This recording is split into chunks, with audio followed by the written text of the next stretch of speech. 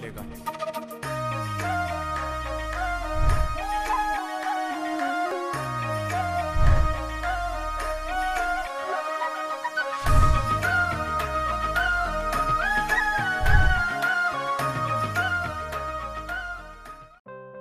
Quando Nanda Maharaja comemorou o primeiro aniversário de Krishna, ele chamou músicos e brahmanas para cantar.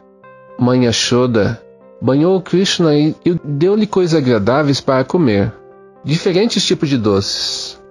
Então, ela fez servir grãos para as vacas. Ainda hoje, todos os templos de Vrindavan comemoram o aniversário de Krishna desta forma como no dia de Jamastami, que é o dia do aparecimento de Krishna, com um grande banquete. Normalmente é dado um banho especial chamado Abhisheka. Esse canta nomes sagrados.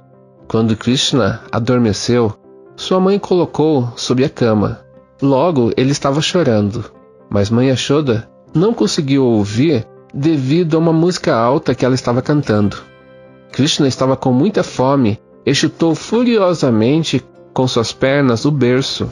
Apesar que suas pernas eram muito macias, o berço e todas as parafernálias, como panelas, caíram e fizeram um grande barulho. Aquele berço tinha umas rodas, e essas rodas se soltaram e partiram em pedaços, assim como o resto daquele carrinho berço. Todo mundo veio correndo, mas ninguém viu o que tinha acontecido. Krishna acabou de matar outro demônio chamado Shankatasura, que estava escondido no carrinho.